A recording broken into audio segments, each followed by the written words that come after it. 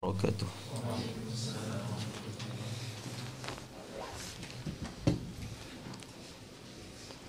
بسم الله الرحمن الرحيم الحمد لله رب العالمين والصلاة والسلام على أشرف الأنبياء والمرسلين وعلى آله وصحبه أجمعين سبحانك لا علم لنا إلا ما علمتنا إنك أنت العليم الحكيم. سبحانك لا فهم لنا إلا ما فهمتنا إنك أنت الجواد الكريم. قال الله سبحانه وتعالى وذكر فإن الذكرى تنفع المؤمنين. وقال رسول الله صلى الله عليه وسلم من يريد الله به خيرا يفقهه في الدين أو كما قال عليه الصلاة والسلام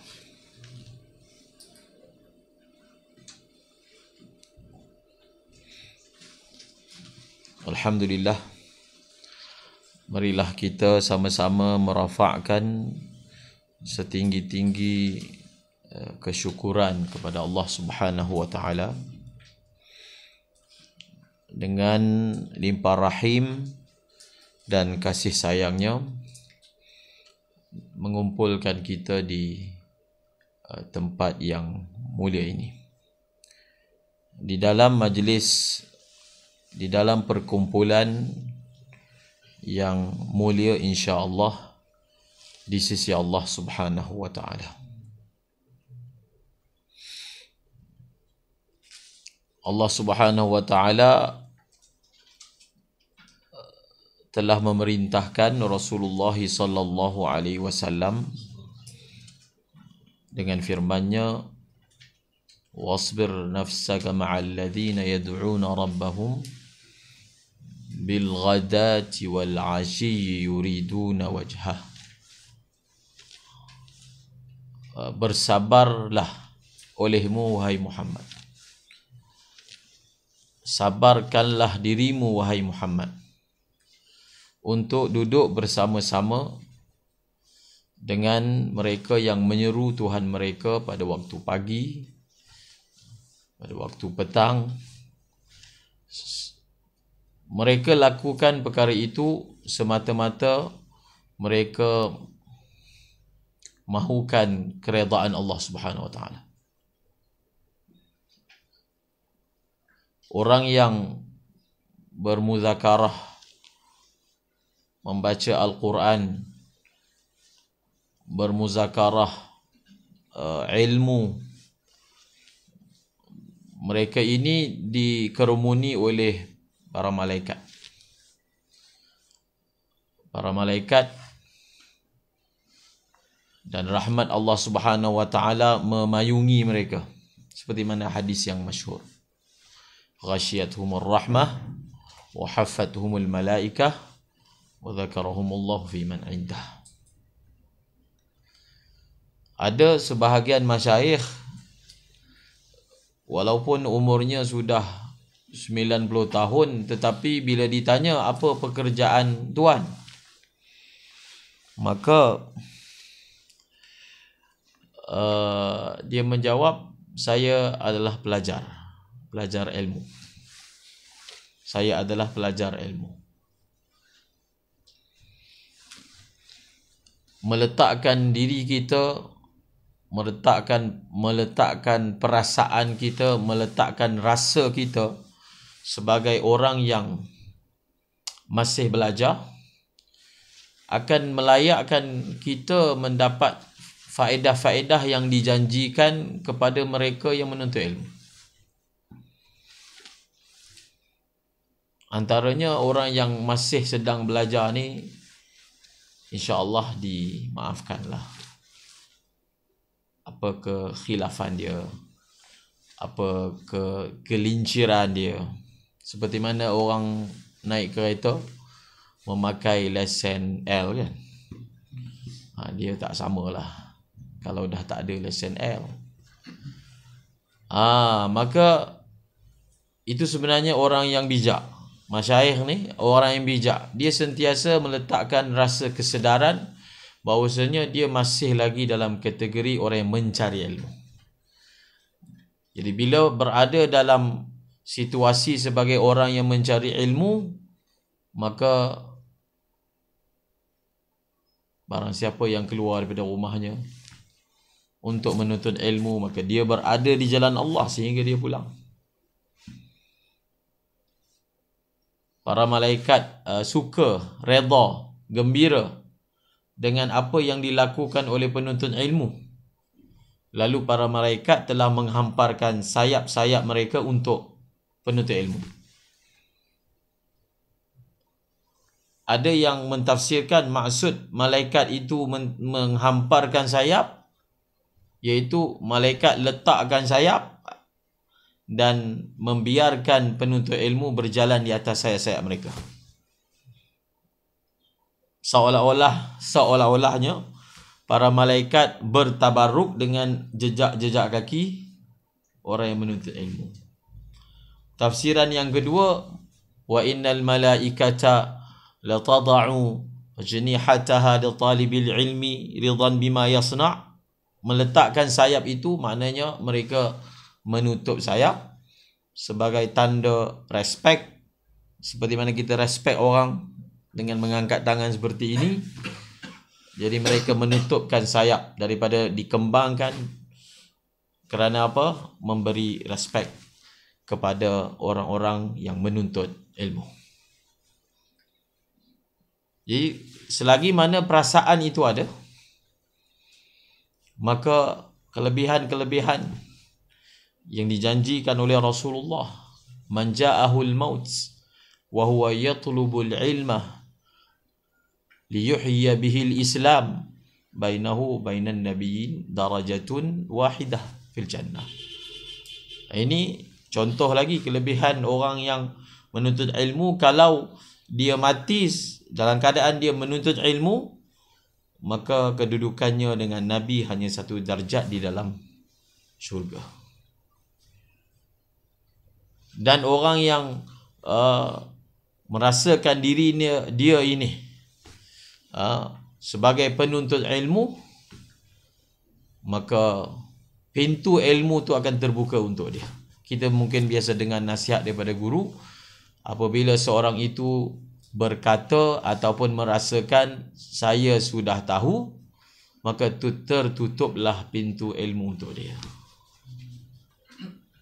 ada para sufi telah mengambil isyarat daripada firman Allah innamas sadaqatu lil fuqara.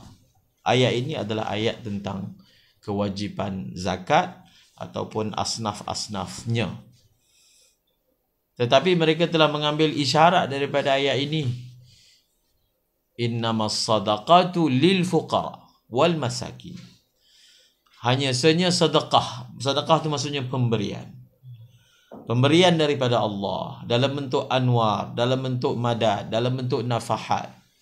Kepada siapa? Kepada fuqara. Kepada orang yang dia ada perasaan fakir, ada perasaan berhajat, ada maskanah dalam diri dia, rendah diri. Ada fakir, ada rasa berhajat, maka innamah hanya saja orang yang seperti ini akan mendapat sadaqat daripada Allah Subhanahu Wa Taala. Iaitu sadaqat yang dimaksudkan secara isyaratnya iaitu pemberian dalam bentuk rohani. Ilmu adalah benda yang rohani. Ilmu ini adalah sesuatu yang berbentuk rohani. Maka kita sentiasa merasakan perkara itu sebenarnya membantu kita belajar membuka hati kita merasakan kita ini masih perlu membantu kita mudah untuk belajar. Kerana apa? Semakin ada rasa tamak, semakin ada rasa haus dahaga pada ilmu dan rasa saya ini rendah dan saya perlu, maka kita telah membuka pintu ha, hati kita untuk menerima ilmu daripada Allah Subhanahu Subhanahu wa taala. Jadi para pelajar muslimin muslimat yang dirahmati Allah Subhanahu wa taala.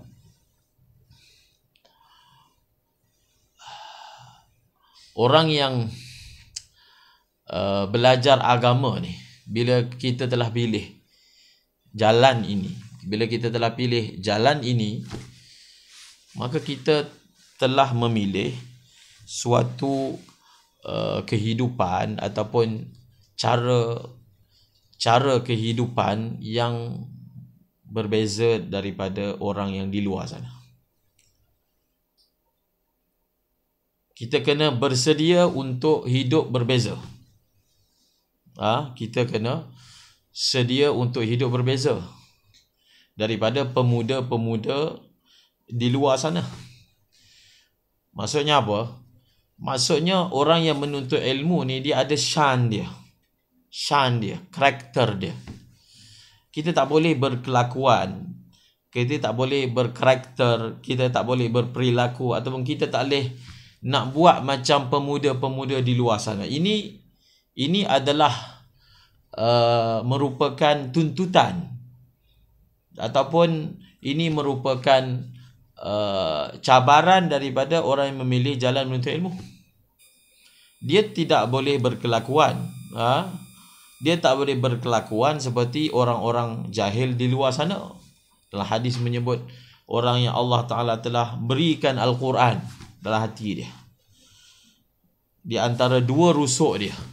Maka dia tidak boleh berkelakuan seperti kelakuannya orang-orang pemuda-pemuda yang awam. Ha? Dah tak boleh dah. Ha? Cara dia bercakap dia. Cara dia berpakaian dia. Cara dia bermuamalat. Sebab ini memang uh, ini memang uh, perkara yang merupakan tuntutan daripada kita sebagai orang yang yang menuntut ilmu. Ini selalu dinasihatkan oleh apa ni para guru dan uh, para masyayikh. Jadi bila kita bersedia untuk mengambil jalan ini, maka ada pengorbanan yang perlu di, diberikan. Waktu pemuda-pemuda lain mungkin bersukaria di luar sana, uh, pelajar-pelajar semua korbankan masa berjauhan daripada keluarga untuk belajar ilmu agama. Uh, ini antara uh, perbezaan yang kita perlu hadapi sebagai suatu mujahadah bagi mereka yang menuntut bagi mereka yang menuntut ilmu agama. Ada tujuh orang uh, di bawah naungan naungan arash yauma la dhilla illa dhilluhu kan yang salah seorang atau salah satu daripada kumpulan manusia tersebut adalah pemuda yang dia membesar dalam ketaatan kepada Allah. Kenapa disebut pemuda? Pemuda ni, orang muda ni uh, waktu muda ni adalah waktu waktu yang manusia akan uh, melempiaskan kehendak dia. Waktu muda kan, badan kuat. Kehendak pun kuat. Semangat pun kuat. Tetapi golongan ni yang dipilih duduk bawah arash uh, telah tidak menggunakan waktu muda dia seperti pemuda-pemuda yang lain. Bahkan dia telah menjadikan waktu muda dia untuk ketaatan kepada Allah. Menuntut ilmu adalah satu bentuk ketaatan kepada Allah Subhanahu Wa Taala. Ha, dia telah mengambil tanggungjawab fardu kifayah bagi bangsa dia, bagi masyarakat dia, bagi orang kampung dia. Maka dia korban. Dia dah tak berpeleseran macam pemuda seumpama dia. Uh, dia tidak berempit macam pemuda seumpama dia yang waktu yang menggila ni kita harapkan kan uh, mereka-mereka yang memberi masa muda dia untuk menuntut ilmu juga termasuk dalam uh, pemuda yang membesar uh, dalam keadaan mentaati Allah Subhanahu taala sekaligus melayakkan dirinya berada di bawah naungan arash pada hari pada hari kiamat. Amin ya rabbal alamin. Dan bila kita menuntut ilmu uh, kita baca, kita dengar dan pengalaman lah pengalaman uh, pengalaman hidup ni uh, uh, dalam orang kata dalam dunia madrasah lah kalau ditanya sekarang uh, kira lebih daripada separuh umur tu duduk kat madrasah. Sebab saya saya masuk madrasah umur 11 tahun. Hafal Quran kan. Sampai sekarang duduk madrasah. Ha. Jadi lebih daripada separuh umur. So kita tengok kan. Satu kita baca dalam kitab-kitab. Ataupun ia selalu para guru, para masyaih memberi nasihat. Ataupun pengalaman sendiri dalam apa? dalam dalam uh, hidup sebagai seorang pelajar ataupun sebagai seorang guru. Jadi menuntut ilmu ni dia dia perlukan uh, cara yang betul. Perlukan apa? Cara yang betul. Ta'limul muta'allimi tariqat ta'allum. Mengajar pelajar cara belajar. Jadi belajar ni dia tak cukup dengan semangat. Dia perlukan cara yang betul. Kan? Macam benda lain Kita suka buat benda tu Tapi cara tak betul jadi ha, Mudah je nak faham Kenapa perlu cara yang betul kan ha, Sehingga kitab yang saya sebutkan tadi Yang semua orang tahu Zarnuji ha, Ta'limul muta'allimi Tariqat ta'allum Mengajar Belajar cara belajar Cara belajar Beliau dapati pada zamannya ramai orang belajar tetapi tak mencapai matlub. Ramai. Zaman beliau lagi ramai orang belajar. Ha? Daripada zaman sekarang. Tetapi didapati tak capai matlub tu. Bila kita cakap belajar, belajar dengan erti kata sebenar. Ha. Bila kita bercakap nak jadi alim, kita yang kita maksudkan dengan erti kata sebenar bukan maksud belajar tu hanya attach attach ataupun wujud jasadnya dalam majlis majlis pengajian ha, tak sekadar wujud tu senang je untuk untuk berlaku kan itu pun susah juga. Tapi belajar dengan erti kata sebenar. Ha, seperti mana ulama-ulama terdahulu. Contohnya lah Ah, Maulana Zakaria Al-Kandahlawi pengarang kita Aujazul Masalik. Beliau belajar ni 8 tahun je. 8 tahun ni. Ha? 8 tahun 9 tahun. Mungkin kita belajar lagi lama beliau beliau belajar alim ni belajar syariat ni 8 tahun je tetapi uh, kita tertanya-tanya uh, apa yang menyebabkan beliau menjadi satu keupayaan ataupun mempunyai malakah yang tinggi dalam ilmu. Kalau segi masanya, dalam masa 8 tahun, 9 tahun, tak ada 20 tahun pun. Ha.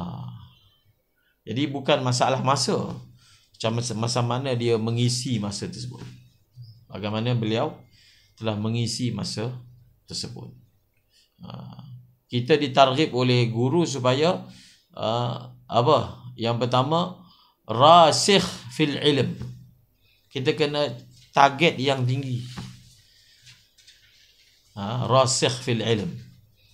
Ha, mana belajar betul-betul. Dengan erti kata belajar. Ha, dengan erti kata mempunyai malakah.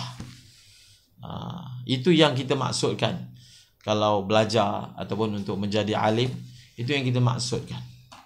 Dan itulah yang dimaksudkan oleh uh, pengarang kitab Ta'limul Muta'alim. Orang yang belajar tu banyak, orang yang duduk dalam majlis syekh tu banyak.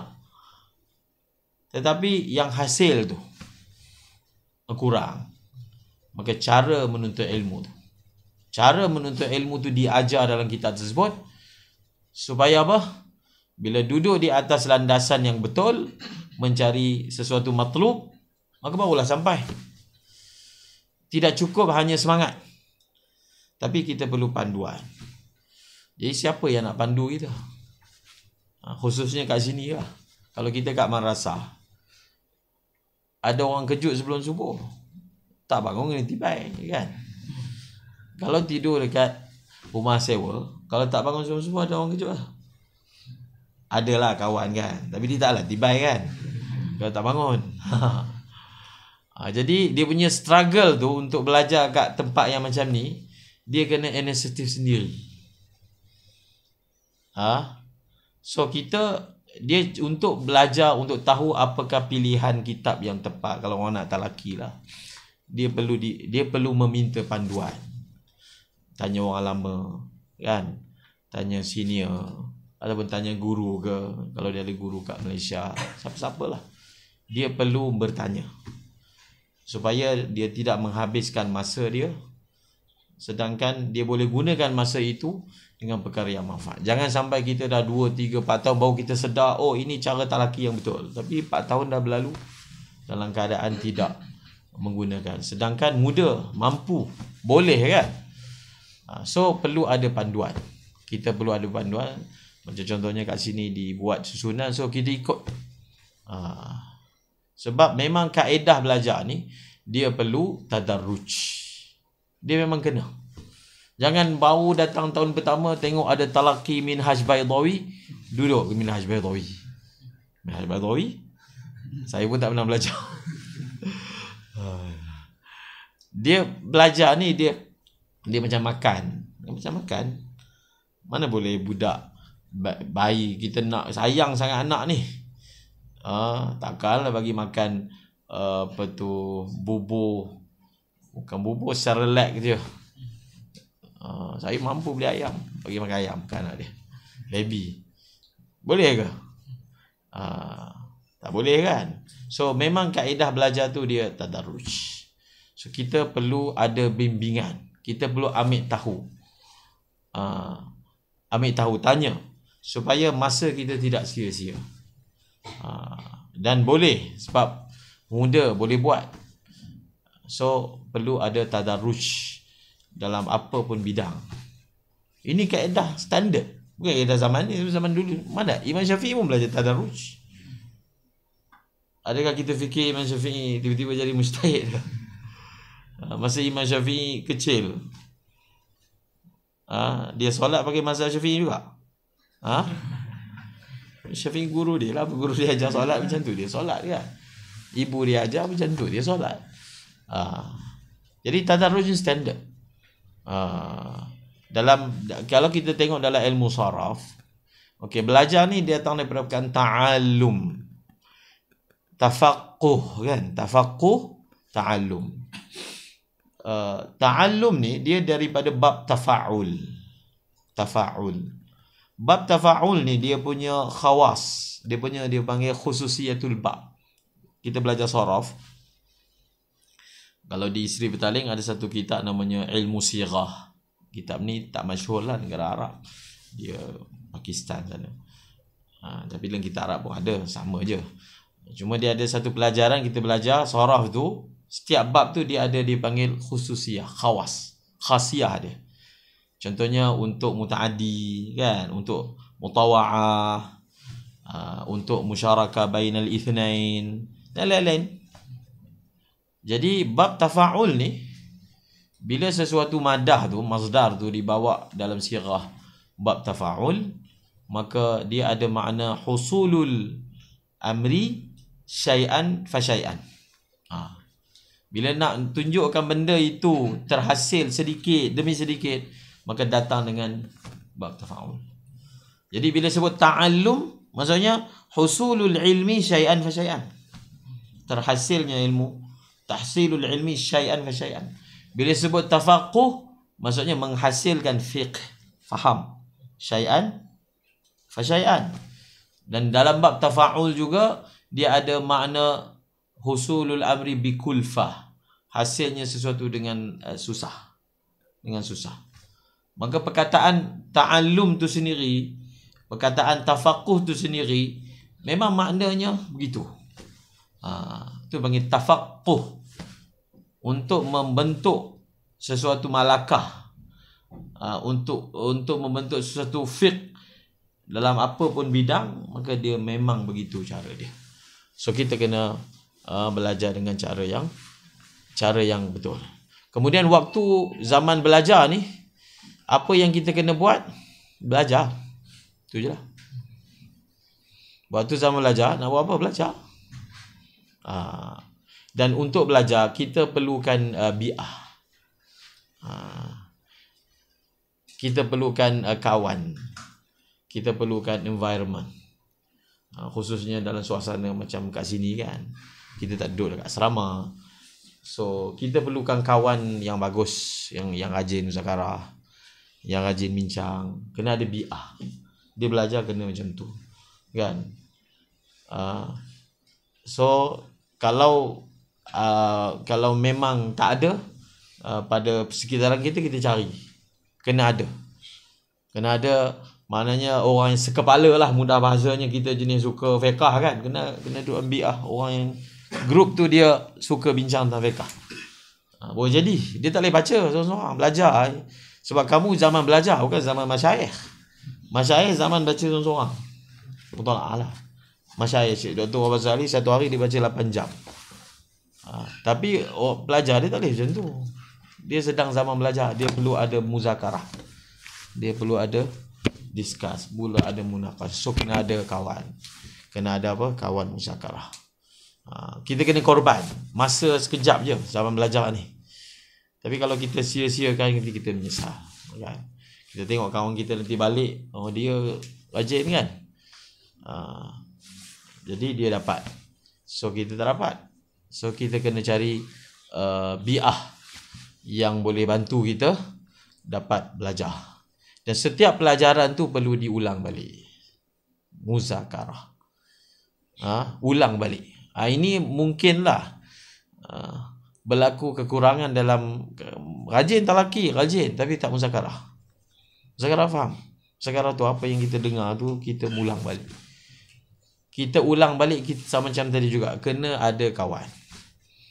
Ha, kena ada kawan ulang balik. Ini tertib biasa kalau kat madrasah. Kita uh, pelajar-pelajar ada 40 orang akan di dipasang-pasangkan. Dua orang, tiga orang, satu kelas tu, tiga orang.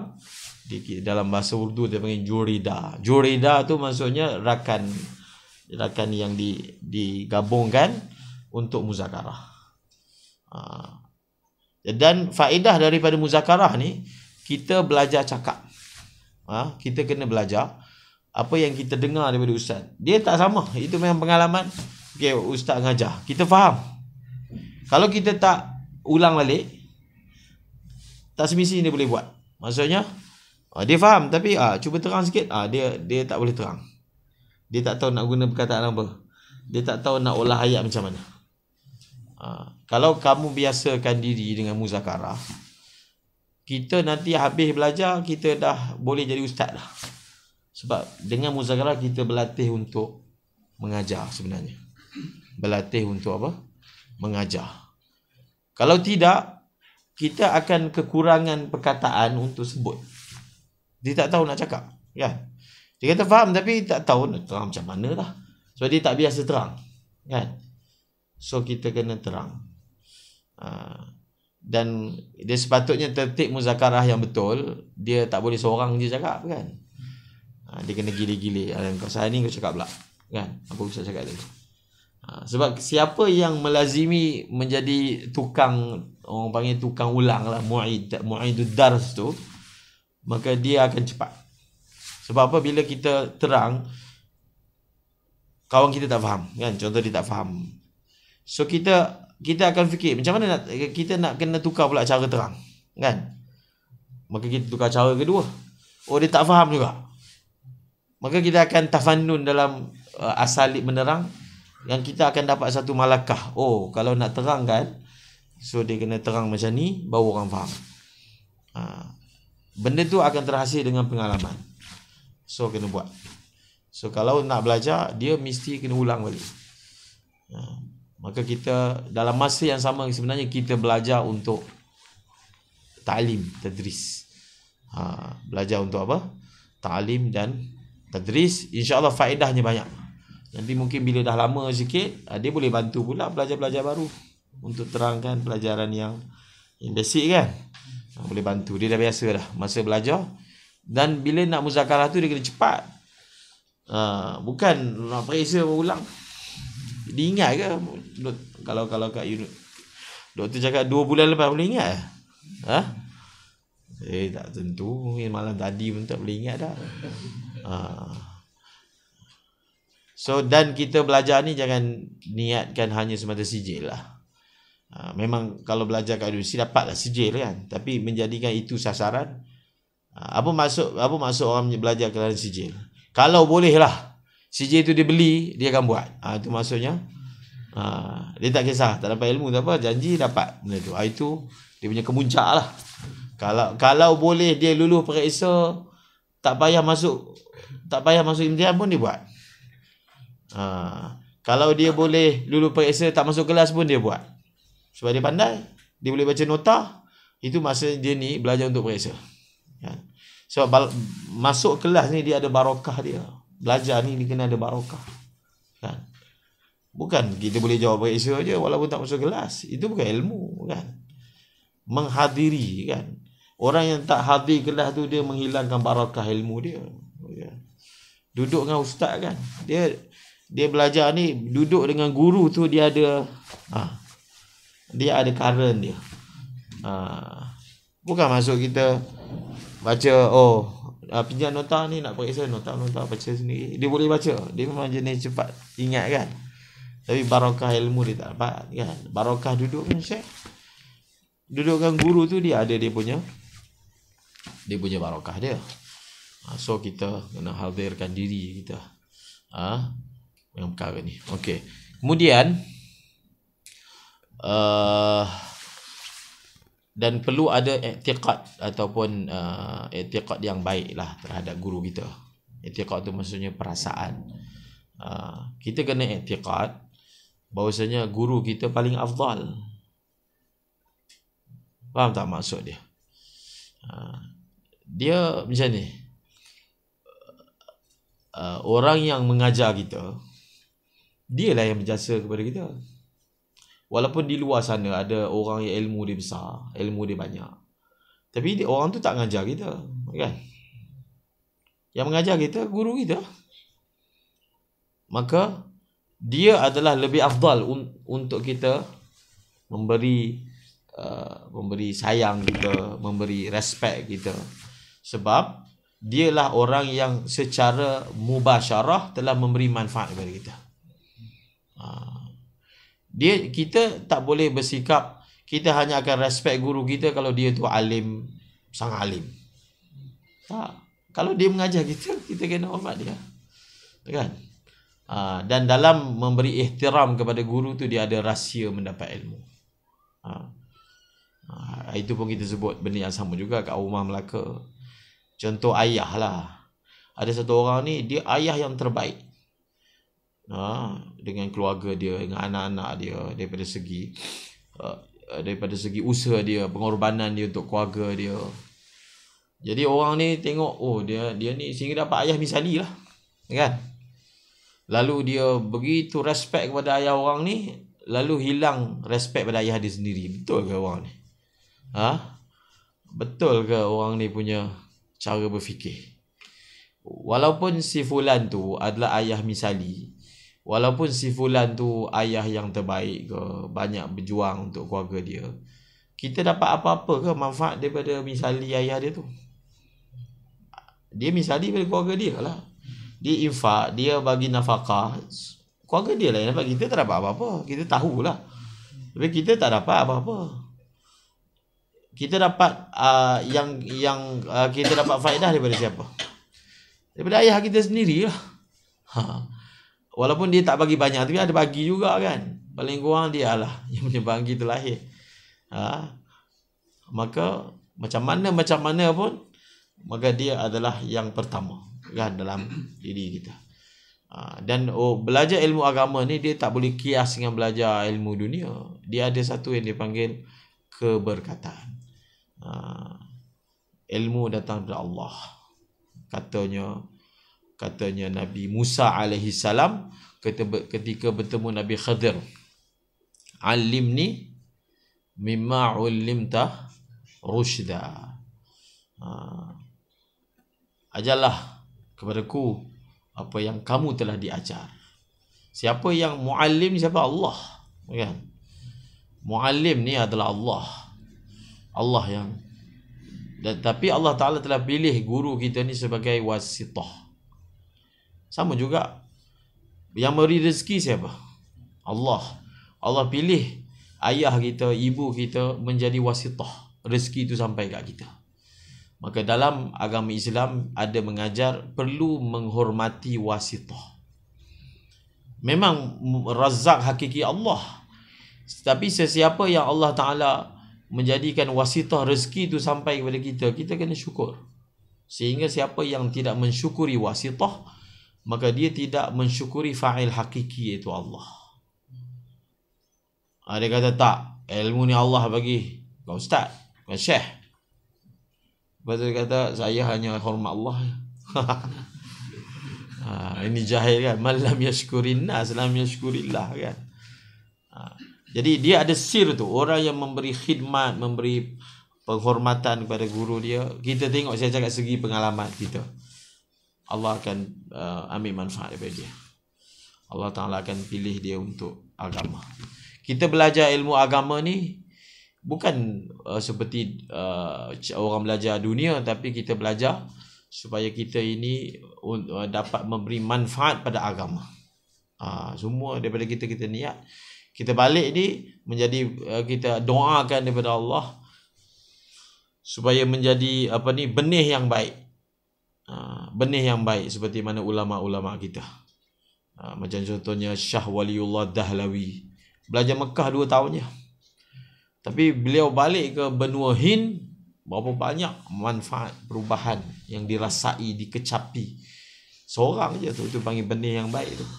Sampailah hari ini. Ha? ada satu orang lagi yang seperguruan juga dengan Syekh uh, Syah Waliul Dahlawi Syekh Yusuf Makassar ha? orang Makassar lah dan beliau ini telah dibuang negara oleh berjajah waktu itu ke Sri Lanka ha, tapi dia mereka takut lagi dia punya dia punya gema ha, gema apa ni gema mengajak kepada Allah yang ada pada diri dia buang pula ke South Africa, Cape Town, hujung dunia. Tapi beliau sampai ke sana menjadi pencetus kepada keberadaan agama Islam sehingga hari ini. Ha, jadi begitu. Ha, itu yang kita nak kan. Jadi belajar ilmu agama ni dia adalah untuk memberi khidmat untuk agama. Ha, kita niatkan untuk khidmat untuk agama. Khidmat ni maksudnya kita sanggup korban kan. Ha, kita sanggup korban untuk agama. Uh, kalau untuk agama kita perlu apa? Masa kita bagi. Uh, tenaga bagi. Kalau perlukan harta kita bagi. In ajriya illa ala rabbil alamin dan kita harap daripada Allah Subhanahu wa taala. Uh, liyujari bihil ulama atau liyumari bihil sufaha atau liyasrifa bihi wujuhan nas ilaihi jadi kita kena elak tiga niat ni. Liyujariya bil ulama belajar dengan niat nak bersaing dengan ulama lain. Kita nak supaya kita juga ada di medan yang sama, dikenali dengan pengenalan yang sama, kena elakkan niat tu. Liyujariya bil ulama. Au liyumariya bihi sufaha. Ataupun dia belajar ni, dia nak bergaduh dengan orang awam. Ha, dia command lah. Kadang kita tengok ada belajar orang belajar ilmu agama kan. Uh, dia nak pergi gaduh dengan orang awam. Dah memang nak orang awam. Apa pergi gaduh panjang-panjang lebar dengan dia.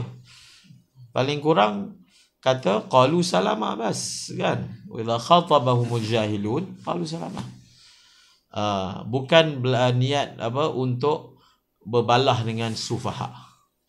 Yang ketiga, untuk memalingkan pandangan orang pada diri dia. Itu semua niat yang tak bagus. Nabi kata siapa niat seperti itu dia akan dimasukkan ke dalam api neraka. Perkara-perkara uh, samarah natijah ataupun bunga itu semua Allah Taala akan bagi uh, kalau tiba pada waktunya kan so uh, selalu diingatkan oleh para masyarakat kita tunaikan hak menuntut ilmu yang lain-lain tu ikut rezeki tawakal Allah kan Ha, kita tunaikan je. Hak ikhlas kita tunaikan hak belajar kita tunaikan hak mujahadah kita tunaikan. Yang lain-lain tu Allah kan? Ha, faham tak? Ha, seorang ustaz kami kata kita belajar ni asal setengah orang dia dia tengok masyayikh oh dia tengok guru ni pergi mana orang sambut pergi mana. Oh dia kata nak jadi macam guru ni. Dia terus nak jadi yang macam tu kan? Guru tu sebelum sampai ke tahap tu apa belakang tu kan? Orang panggil bidayah muhriqah kan? Barulah ada nihayah musyriqah. Dia terus nak nihayah musyriqah tanpa melalui bidayah muhriqah. Itu semua adalah tipu daya syaitan kan? Tipu daya syaitan. So kita sekarang ni waktu tunaikan hak belajar tunaikan hak adab dengan guru tunaikan hak masa yang lain-lain Allah. Faham? Allah Ta'ala tidak sekali-kali akan mensia-siakan orang yang berbuat baik. Dia memperelokkan usaha dia. InsyaAllah dia akan dapat. Ha? Boleh insyaAllah. InsyaAllah. Uh, kemudian tadi Ustaz minta untuk kita sebut sikit tentang elat ni. Uh, dia uh, saya saya suka uh, ulang perkataan Syekh Toha yang beliau nukilkan daripada Masyaikh pada Hadramaut tentang masalah Uh, pembelajaran fiqh. Jadi pembelajaran fiqh ni secara tadarrujnya kita memang perlu memulakan dengan menghafal furu'. Ha, furu' hafal furu' ni mudah aja. Sekiranya seorang itu buat begini begini begini maka hukumnya macam ni. Dia hafal tu je. Kalau macam ni maka macam ni. Barang siapa buat macam ni maka hukum dia macam ni. Jadi belajar fiqah kena hafal tu dulu. Ha, sebelum tu dia hafal lah syurut, arkan kan. Kemudian dia hafal furuk. Ha, tanpa dia tahu sebab apa. Tak tahu ilat. Dia tak tahu ilat, dia tak tahu dalil. Tak tahu. Dan itu memang tertib dia. Dan antara kitab permulaan untuk itu adalah kitab Umdatul Salik. Ha, di situ ada lambakan furuk. Namun sebagai orang yang menuntut ilmu kita tak boleh uh, berpuas hati dengan satu tahap je. Itu satu tahap yang kita perlu lalui tapi tidak boleh berhenti tahap itu saja. Uh, sebab orang yang nak jadi alim dia kena tahu dalil. Kan? Dia kena tahu dalil. Kemudian bahkan itulah kita kalau susun kita ikut susunan tu nanti akan beritahu dalil lah ke atas. Uh, tahap yang seterusnya adalah dalil. Jadi Syekh Toha ni dia nukilkan daripada sebahagian masyayikh uh, bila uh, sebahagian mutaakhirin lah maksudnya pelajar mutaakhirin hanya berpada dengan furu. Dia hafal je masalah. Dia hafal masalah. Uh, tetapi dia tidak meningkat lagi ke atas, dia akan ada dua keburukan. Ha? Apabila kita hanya menghafal furu' tanpa kita tahu ta'lil dan juga tadlil. Ta'lil dan juga tadlil. So bila kita tak tahu ta'lil, tak tahu ilat hukum. Bila kita tidak mengetahui ilat hukum, maka kita akan uh, tidak mempunyai upaya untuk ilhaq. Ha, ilhaq. Ilhaq ni maksudnya ilhaq uh, ghairil mazkur bil mazkur. Dia tak mampu. Maksudnya kalau kalaulah dia faham kitab sesebuah kitab fiqh dia hanya mampu menyelesaikan masalah yang ibarat dia ada secara mantuk. Tapi bila ada masalah yang ibarat secara mantuk tak ada, yang sebiji macam tu tak ada, dia dah dia pening kan. Ha, sebab sebenarnya sesuatu hukum itu didasarkan atas elat dia kalau elat dia sama, surah dia sama, walaupun uh, ciri-ciri zahirnya tak sama, yang ni Ahmad, yang ni Abu, sama je lah. Cuma bezanya yang ni Ahmad buat, ini Abu buat, tapi dia buat benda yang sama kan? Ha. Jadi itu pun dia keliru. Sedangkan uh, Ahmad dengan Abu tu tak penting. Yang penting elat benda yang dia buat tu benda yang sama kan. Tapi bila bila seseorang itu tidak menghafal elat maka dia tidak mempunyai upaya untuk ilhaq. Uh, ilhaq ni maksudnya qiyas lah. Tapi digunakan uh, perkataan ilhaq. Uh, qiyas ni digunakan perkataan untuk mujtahid kan. Ilhaq. Ilhaq dipanggil ilhaq nazir bin nazir kan sesuatu masalah ni dia ada nazir yang sama.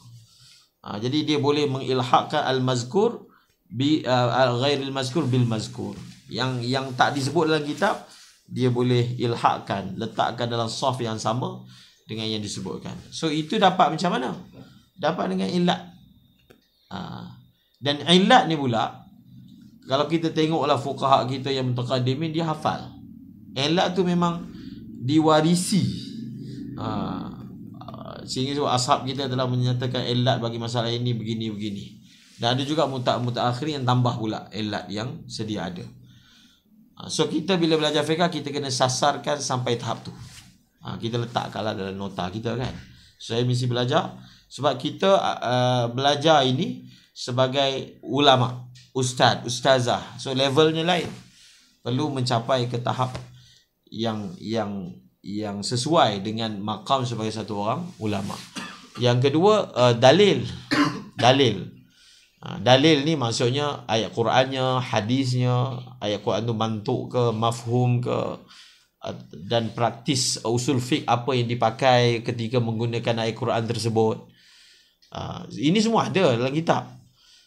Bila kita uh, tak membiasakan diri dengan dalil, uh, kata Syekh Toha nukir daripada masyayikh di Hadramut dia kata uh, uh, seseorang itu akan termahrum daripada nur Quran dan hadis.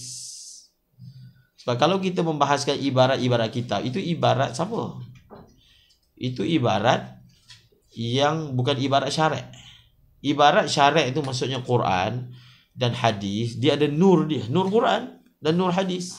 Tapi kalau kita gelumang dengan ibarat-ibarat selain daripada daripada syariat so nur tu kita tak dapat kan nur tu kita tak dapat ha. maka sebab itu kena biasakan diri kena biasakan diri untuk mengetahui ada tak maksudnya bukan semua masalah di dalilnya Al-Quran dan hadis tapi kalau ada kita kena tahu dan kita kena baca lafaz dia membaca lafaz hadis tu sendiri dia ada nur dia yang kita akan peroleh. Dan satu lagi kita dapatilah kalau orang yang tak membiasakan diri membahaskan sesuatu dengan dengan berhujah dengan dalil uh, dia akan dia akan jadi satu orang alim yang lemah. Dia akan jadi satu orang alim yang yang lemah kerana tidak mengetahui tariqatul istidlal kan? Dia tak tahu. Dia hanya penghafal masalah saja. Tapi dia tak biasakan diri dengan tariqatul istidlal. Ha. kalau macam kita belajar uh, sunan sitah kan ini cara ulama di India. Uh, bila sampai belajar sampai bab memang pelajari mutun hadis maka hadis itu akan dibahaskan dan dimukaranahkan dengan mazharin dan pembahasan itu. Orang yang tak biasa buat macam tu. Uh, sebahagian pengajian di tempat kita Malaysia pun macam tu. Tak tak biasa bahas tentang istidlal ha, kalau kita punya istidlal tu maksudnya menggunakan Quran hadis. Ha, berdasarkan hujah ulama kita lah. Ulama kita berhujah pakai Quran hadis. Yang ulama kita punya hujah tu pun kita tak hafal. Kan? Maka hujah kita akan menjadi hujah yang bersifat uh, ini telah disebutkan oleh si fulan. Maksudnya hanya menisbahkan kepada si fulan telah sebut. Tapi bagaimana menggunakan usul fiqh yang kita belajar, usul hadis yang kita belajar dalam menerapkan dalam Quran dan hadis itu dia akan lemah kalau dia tak biasa membaca. So dia kena biasakan. Macam contohnya bagaimana Imam Nawawi membahaskan sesuatu masalah nak isbatkan mata syafi'i dalam majmuk kan. Ha, yang itu lah saya masukkan. Kita tak boleh ber, uh, berpada dengan tahap uh, seperti yang disebut kat situ. Bahkan kita perlu tahu uh, berdasarkan usul fiqh bagaimana laluan itu sampai sehingga sampai kepada hukum tersebut. Ha, jadi itu bila saya bila saya sebut ni maksudnya dan kita bentangkan depan pelajar nak bagi tahunya di di hadapan kita ada banyak lagi benda yang kita nak kena nak kena belajar. Ha, bila satu orang tu dia tahu banyak lagi so dia tak adalah nak koya banyak sangat. Ha. Orang yang belajar ni dia kena dia kena apa putuskan hubungan-hubungan yang tak perlulah. Qat'ul alaiq. Ha, semalam pun sebut tak. Dia tak perlulah mewujudkan hubungan-hubungan yang tak perlu. Yang peningkan kepala dia. Kan? Betul tak? Dia tak ada anak kan? Ha, dia tak ada anak. Dia tak ada bini. So dia jangan wujudkan kalau tak perlulah. Kalau tak dia yang pening kepala. Dia fikir belajar aja. Waktu belajar fikir belajar bas kan. Ha, dia tak perlu pun nak bergewek tapi gatal. Contohlah. Bila dia buat macam tu nanti dia yang mewujudkan sesuatu benda yang melekat kat otak dia. Fikir. Macam mana ni? Kan merajuk pula tak telefon. Dah pening. Dah kena bagi masa pula dah kena nak nak kena bujuk pula itu kan mewujudkan perkara yang alaik yang kita tak perlu pun. Ah bagi tumpuan waktu belajar insyaallah Allah Taala akan sediakan. Dan kita setiap hari doa lah. Kita tak tahu masa depan kita. Tapi kita ada harapan Allah Taala dan masukkan dalam doa kita setiap hari semoga Allah Taala bantu kita. Ada soalan? Biasanya dalam kitab-kitab fiqh tu macam mana? Antara ibarat yang menunjuk di atas ilah tu macam mana dalam yang biasa digunakan oleh fuqaha kita uh, kalau untuk minhaj lah. Kitab minhaj uh, syarah yang paling kalau nak jadikan dia sebagai sumber tadrib pun boleh. Uh, dia ringkas tapi dia agak sharp iaitu uh, Kanzur Raghibin Kanzur Raghibin sebab Kanzur Raghibin ni dia beza dengan uh, Tuhfah ke Nihayah ke daripada segi dia tidak banyak istitradat ha. dan dia fokus munakashah kepada ibarat. Ha, tapi kalau Ibnu Hajar dan Tuhfah dia ada munakashah atas munakashah atas munakashah ha. jadi untuk uh, untuk kita tahu dalil dan ta'lil kan secara mana ijmali ha, tapi ijmali dia bersifat padat dalam kanzur yang kedua yang kedua adalah muhazzab ha, kan dalam kitab uh, manhajus sawi disebut uh, oleh Habib Zain maksudnya para masyayikh di Hadramaut nasihati untuk saya pun tak baca juga tapi bagus buat halaqah muhazzab lagi sebab dia kata tidaklah seseorang itu membaca muhazzab uh, setelah dia habis baca melainkan dia akan ada mustawiban lid dalili wa ta'lil. Ha, sebab memang dalam matan dia dia dia kitab matan tapi di situ dia ada dalil maksud dia bawa hadis dan dia bawa uh, dal, uh, ta'lil dan dia bawa khilaf kan ha, sebab bila peringkat fiqah yang atas kita tahu khilaf pula dalam sesuatu masalah jadi bila dia sebut ta'lil tu uh, kalau kalau dalil tu memang qiyas kalau dalil tu kalau kalau ni cara kanz lah.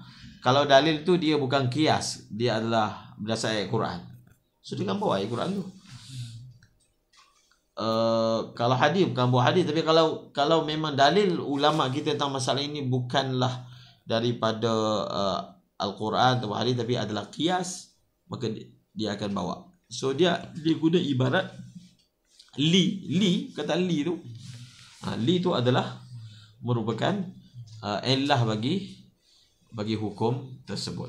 Uh, dan kalau dalam uh, misalnya pendapat uh, dalam dalam minhaj kan dia ada pendapat dhaif muqabil. Uh, dalil muqabil ni adalah qiyas. Dalil mu'tamad pun qiyas juga maka dia akan datangkan dia kata kenapa qiyas ni lemah. Qiyas ni lemah sebenarnya ada farid. Nah, dia akan bawa wa faraqal awwal qail pada masa dia telah mengatakan farid uh, uh, di, uh, di atas kias yang salah yang telah dibuat oleh uh, qaul yang kedua contohnya. So li itulah. Li itu ada. So di situ kita boleh buat latihan lah. Mensenaraikan latihan kias. Uh, kias yang di, dibuat oleh uh, pengarang mahali Itu untuk yang ringkas lah. Ha, kalau yang panjang seperti mana dalam kitab Majmu' dan Muhazzab pun begitu. Di dibentangkan kias dan kias itu adalah bukan kias uh, el, uh, elak tu bukan uh, yang dibawa oleh Abu Ishaq bahkan sebenarnya dia riwayatkan daripada daripada elak-elak yang telah dinyatakan oleh fuqaha kita bagi masalah di masalah tersebut. Hmm. Ada soalan lain?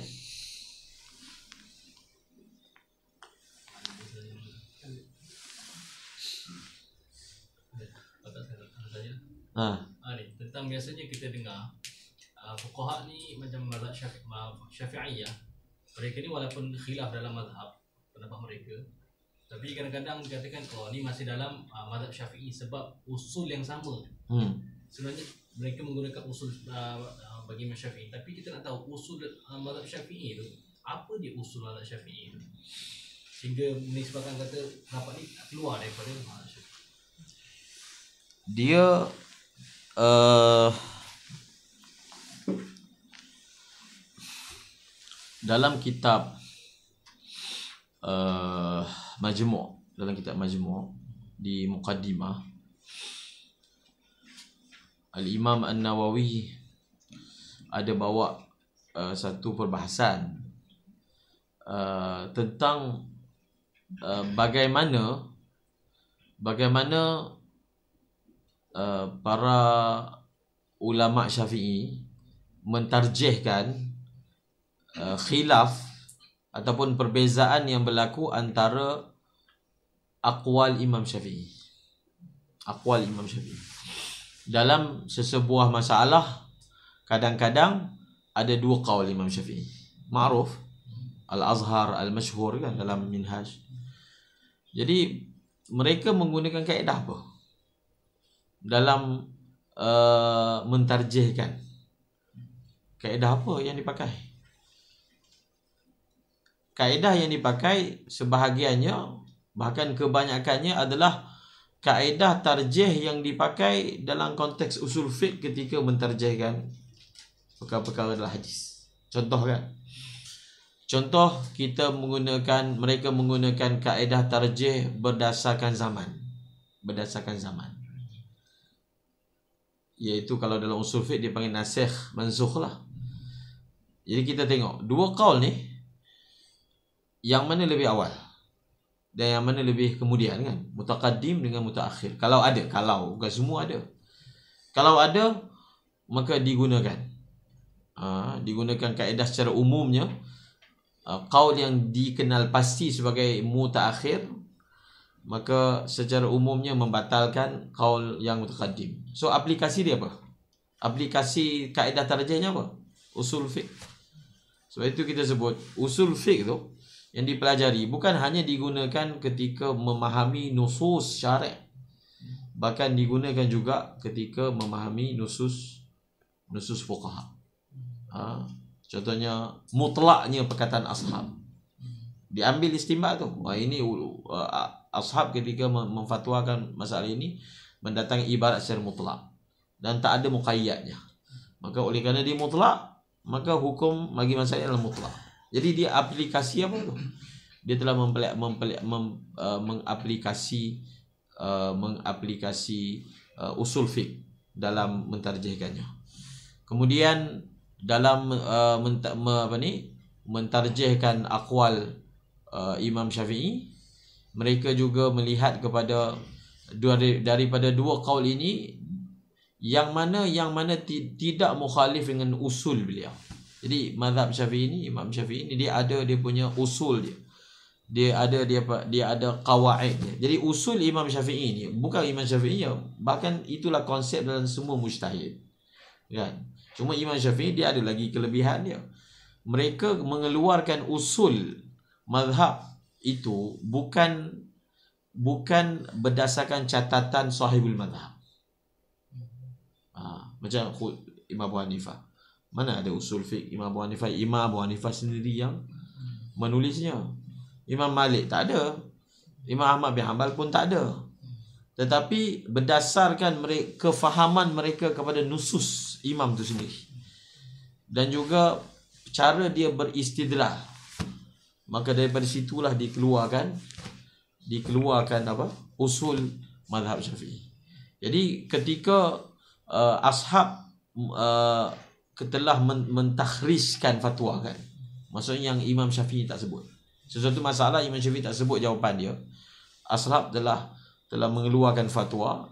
Maka fatwa itu adakah dia ber, bersesuaian dengan kaedah mazhab Syafi'i? Ha. kaedah mazhab Syafi'i dalam uh, dalam menentukan apa contohnya bila satu orang itu berlaku syak dalam rakaat solat kan jadi adakah mereka beriktimat atas zon? Atas zon? Maknanya dia berat sangka tiga, dia ambil yang berat sangka tu. Ataupun uh, dalam mazhab syafi'i menggunakan kaedah tidak menggunakan zon. Itu mazhab Hanafi. Tapi menggunakan kaedah iaitu mengambil yang sedikit masa al-akhzu bil yakin. Contohnya adalah dalam masalah yang lain yang ashab telah mengeluarkan fatwa tapi berdasarkan kaedah mengambil zon ghalib. Maka ini dipanggil apa yang mereka sebutkan itu bertentangan dengan konsep mazhab Syafi'i. Bahawasanya tidak mengambil zon ghalib dalam masa seperti ini tapi mengambil al-akhzu bil yakin iaitu dengan mengambil bilangan yang paling sedikit. Ha, jadi sebab itu orang yang memahami mazhab Syafi'i dia memahami nusus tu. Dia memahami uh, dia mem, uh, dia memahami uh, fikrah Imam Syafi'i dalam sesuatu masalah dan dikeluarkan dalam bentuk usul fiqh dan dikeluarkan juga dalam bentuk kawaid kawaid fiqhiyah dan juga nusus. Ha, jadi sebab itu uh, kenapa kita pegang Imam Nawawi sebab Imam Nawawi ni dia telah telaah nusus Imam Syafi'i, nusus, nas. Nas tu maksudnya fatwa dia dalam masalah. Ha, istiab dia pada nusus itulah yang menyebabkan tarjih-tarjih dia itu adalah selaras dengan apa? Nusus-nusus Imam Imam Syafi'i. Ha, wallahu a'lam.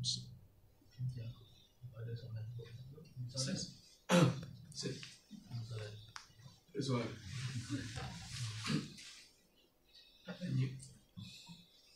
Ya. Uh, sejauh mana kepentingan ilmu-ilmu hadis bagi pelajar yang takhasus syariah.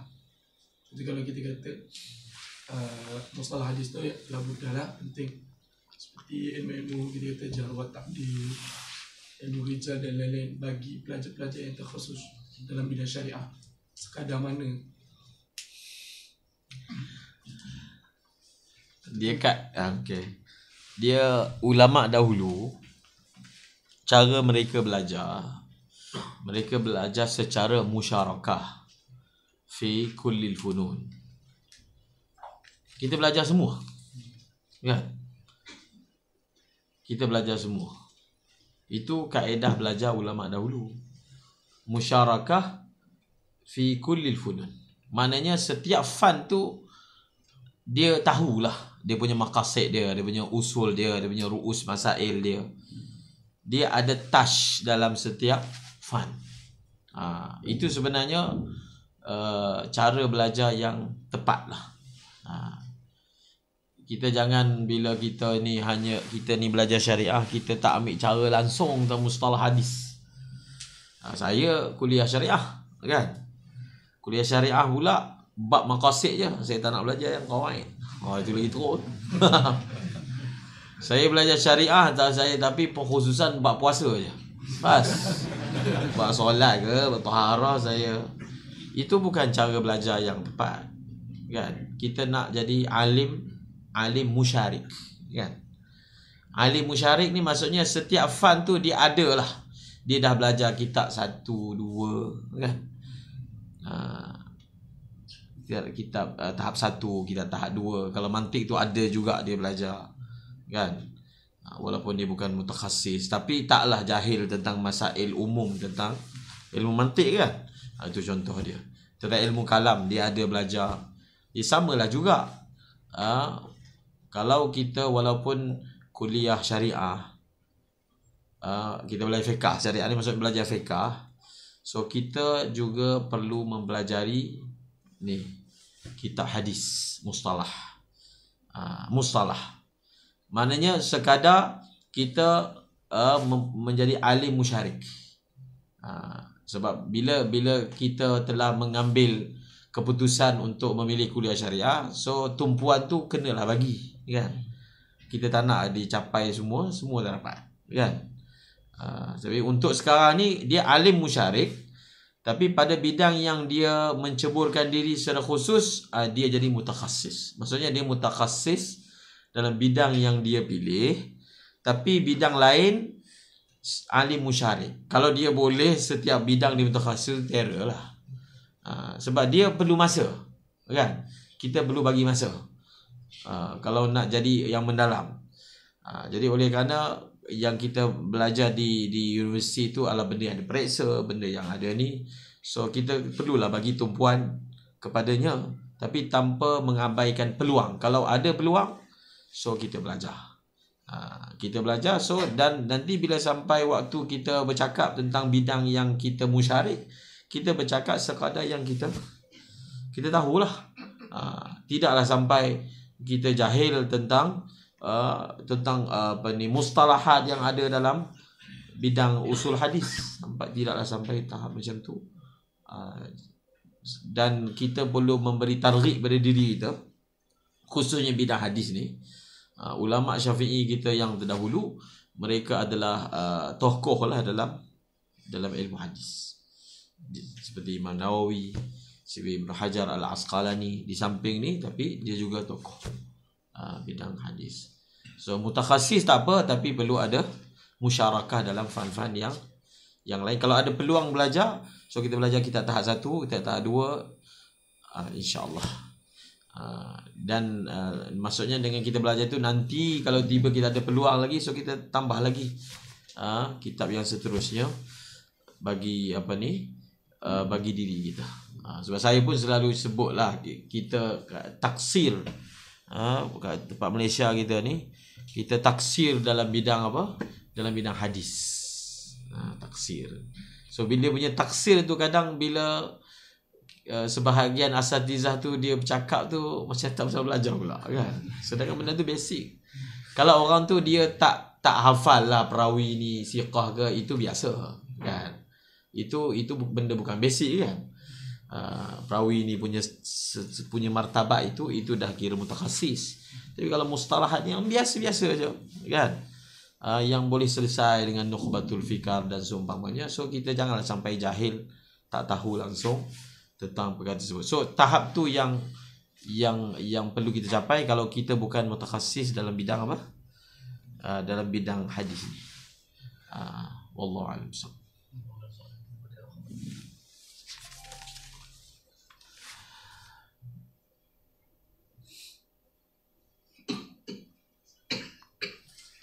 Ada enam soalan tu. Jawab pendek sikit.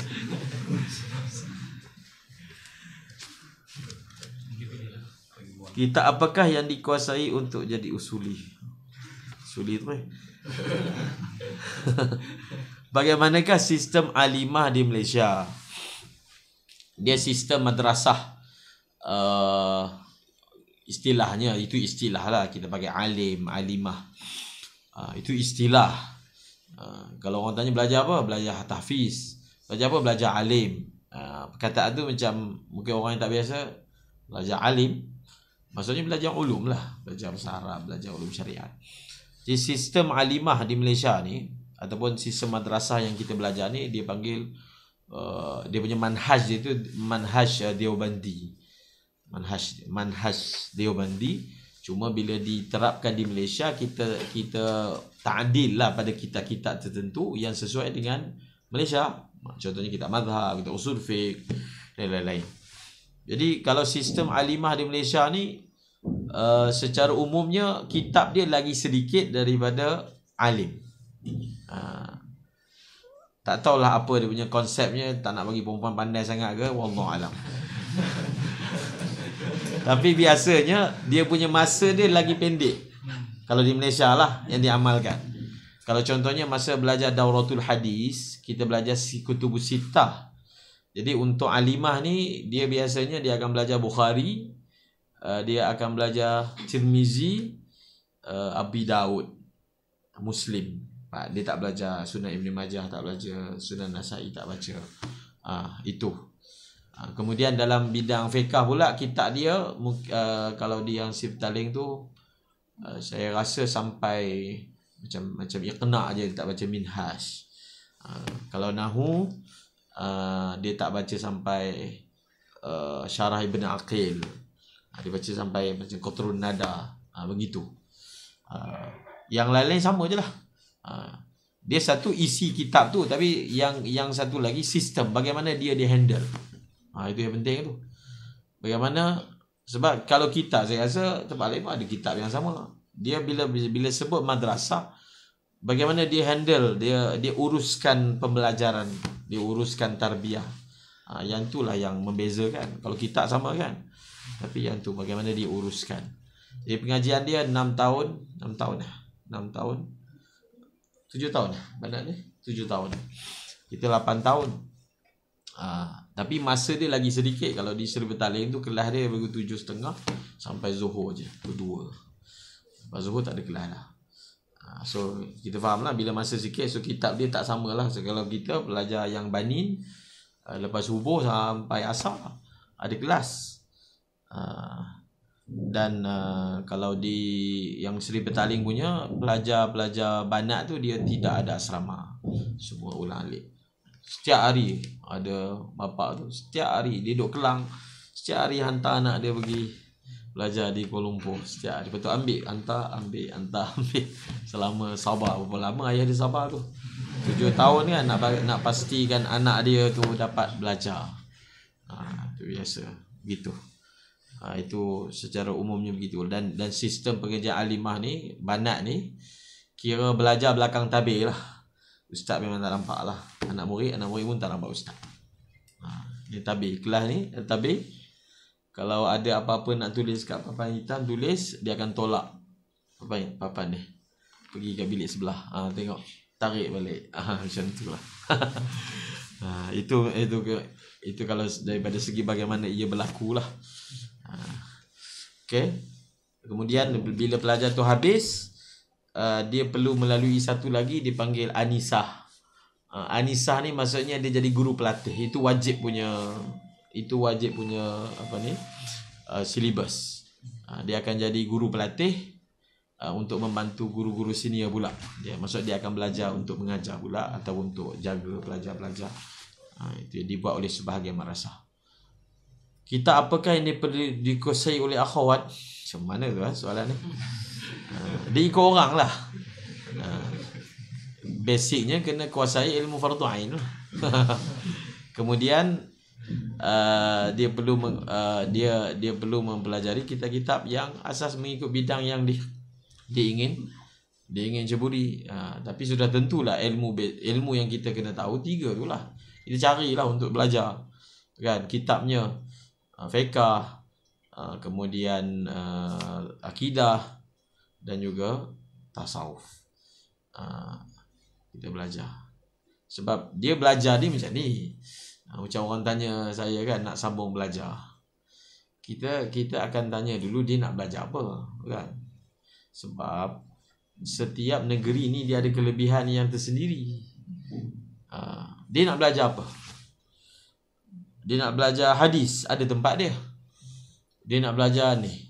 Ha, dia bukan pergi, dia tak tahu nak belajar apa, pergi dulu nanti kita tengok ah sana apa ada. Ha, kita kena tahu apa yang kita nak dan apa yang kita nak tu dia ada tempat dia kan?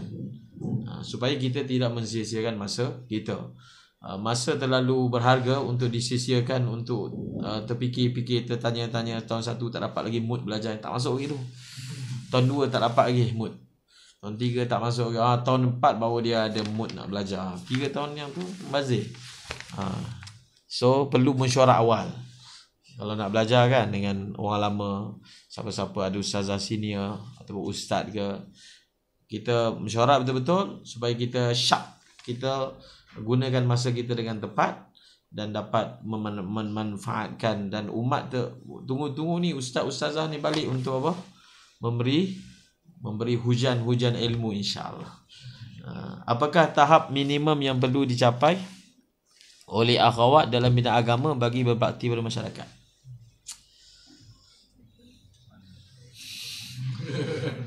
Belajar yang dalam silibus tu belajar, belajar betul-betul. Sebab yang tanya ni memang yang sedang belajar kan. Ke yang tanya kan sedang belajar. Jadi yang dalam silibus tu belajar betul-betul. Kalau ada peluang antara lelaki belajar dan uh, dan amalkan nasihat yang saya sebut panjang lebar tadi.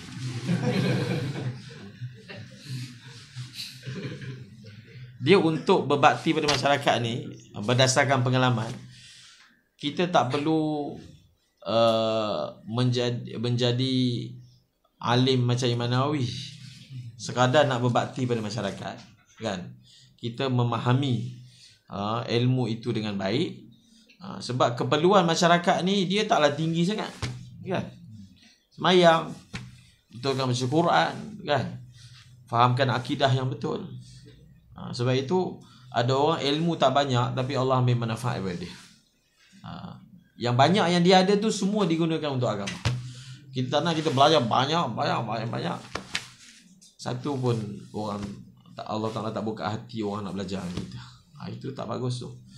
Ha, Syekh saya sebut ada, ada di Zabit ni ada satu orang dia belajar Zabit setahun je. Tapi barakah dia belajar setahun tu, dia belajar mungkinlah khatam Safinah ke apa.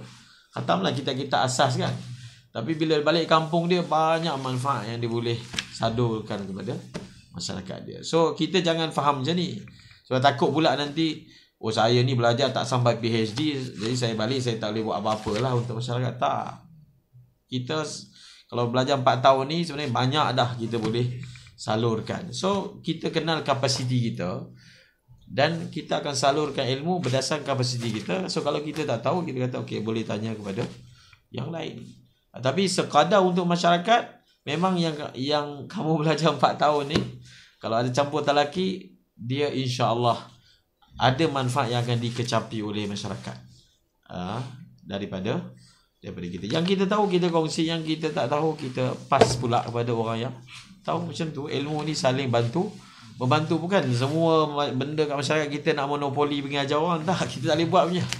Dia panggil kerja sama. Kan? Kita bekerja sama. Yang kita ada, kita sampaikan. Yang kita tak tahu, so kita paskan kepada orang lain. Seperti mana para sahabat. Para sahabat kalau orang tanya soalan kat dia, dia tahu dia jawab, tak tahu dia tanya, tanya si fulan, si fulan. Mungkin boleh selesaikan masalah tuan. Insya-Allah. Uh, kita apakah yang perlu dikuasai untuk jadi usuli?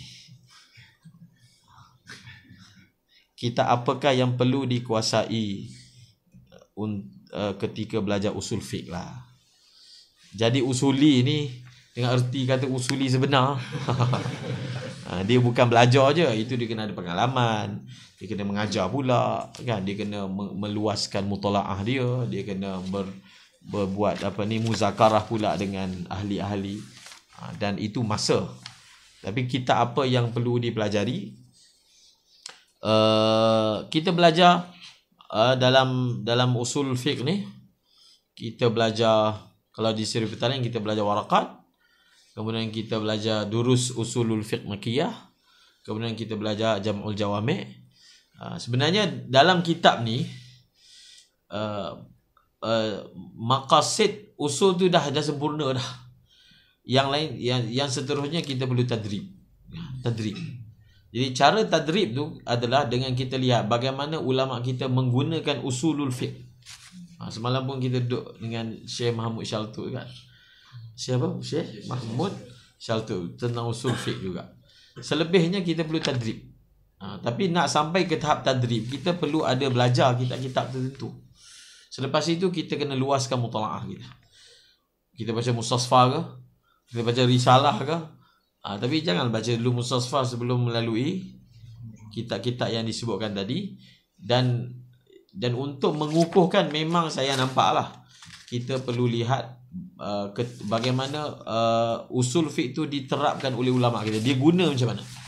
Uh, itu lebih mempercepatkan proses kita untuk memahami uh, usul fiqh tu secara hidup. Uh, kita baca misalnya dalam kitab majmu' contohkan sebagai latihan kita buat latihan. Baca satu masail bagaimana Imam Nawawi membahaskan muqaranah dengan mazhab lain. Ah, so bila Imam Imam Nawawi gunakan usul fiqh ah, so dia akan menguatkan daya. Daya tatbik kita daripada nazariah uh, teori yang kita pelajari. Bagaimana nak cipta malakah dalam masa 4 tahun terutama untuk akhwat di Mesir dia belajar betul-betul lah. Dia tak dia benda tak boleh cipta kan? Allah yang bagi. Dia tak boleh buat macam sin apa tu. Dia dia keadaan macam ni. Dia ilmu ni rezeki. Ha?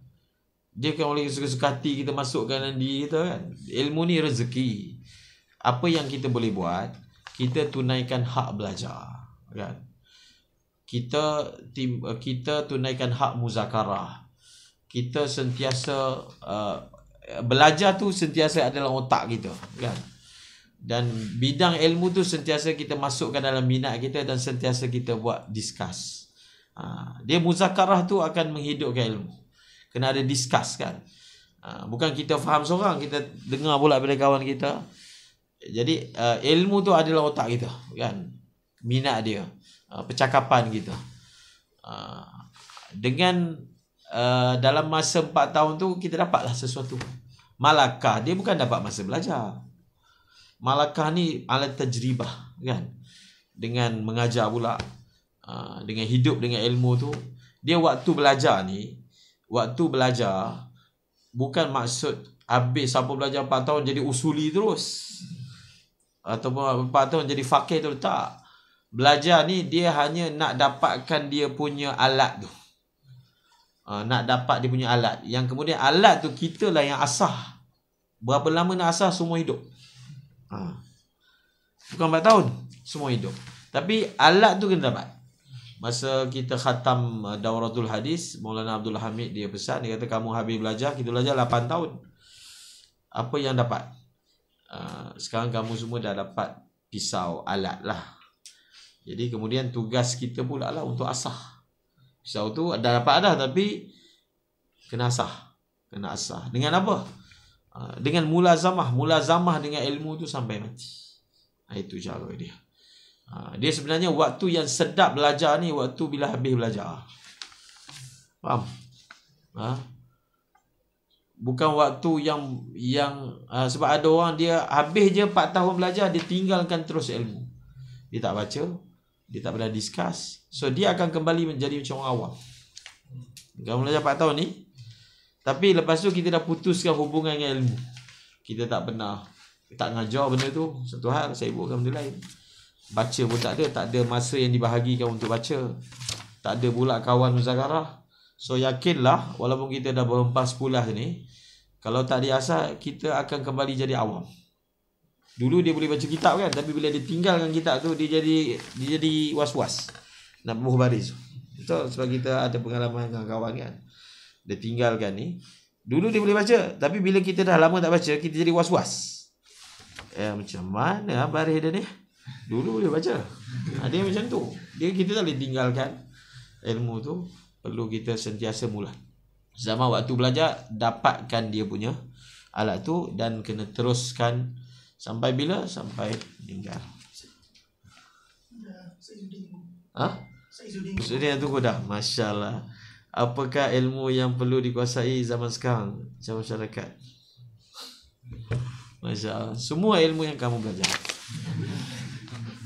Belajar. Jadi itu saja. Yang kita dapat kongsi lah pada hari ini. Semoga Allah Ta'ala terima kita semua. Allah kita solat kat mana? So, okay. Sana.